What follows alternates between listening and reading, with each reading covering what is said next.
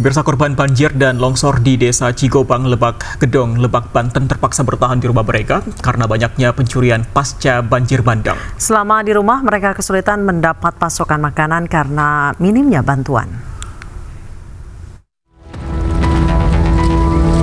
Tim relawan mengevakuasi warga desa Cigombong, Lebak Gedong yang berusia lanjut ke posko pengungsian.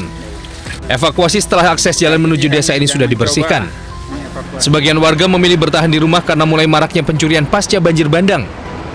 Mereka mengaku sering kehilangan barang-barang berharga, seperti mesin pompa air, meteran listrik, dan barang elektronik lainnya. Selama menjaga rumah dari aksi pencurian, warga mengaku sering kelaparan karena tidak adanya pasokan bantuan makanan.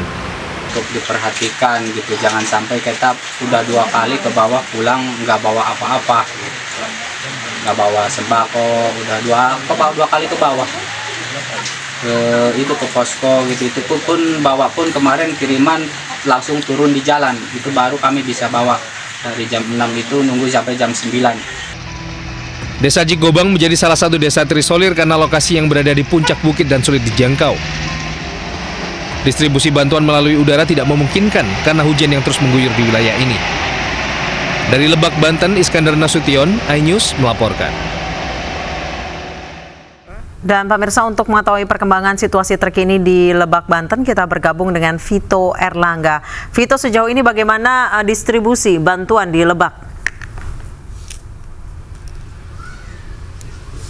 Baik, Anissa dan Fandi, saat ini saya uh, tengah berada di salah satu posko relawan di mana di sini merupakan pusat uh, logistik yang rencananya akan didistribusikan ke beberapa daerah terdampak uh, banjir dan banjir bandang dan longsor uh, pada 1 Januari lalu di mana tercatat uh, berdasarkan da yang data, data sementara yang kami terima sebanyak enam kecamatan terdampak longsor dan banjir bandang di Kabupaten Lebak Salah satunya adalah Desa Lebak Situ, eh, Kecamatan Lebak Gedong, Kabupaten Lebak, Provinsi Banten, di mana di sini terdapat beberapa logistik bantuan yang rencananya akan didistribusikan, di mana bentuk bantuan sendiri adalah uh, berupa makanan cepat saji, uh, kebutuhan peralatan bayi dan air mineral dan beberapa bentuk bantuan lainnya untuk mendistribusikan bantuan maksud kami uh, untuk mendistribusikan bantuan dari uh, tempat ini menuju ke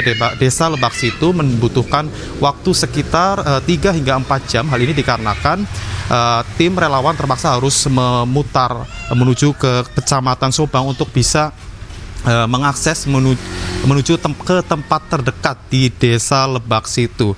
Untuk kondisi terkini di uh, Desa Lebak Situ sendiri uh, saat ini uh, masih terisolir begitu, namun beberapa warga tadi sempat uh, membuat beberapa jalan alternatif sementara untuk memudahkan para relawan agar bisa berjalan kaki di, dengan mudah untuk melintas di beberapa jalan yang ambruk dan masih tertimbun material longsor.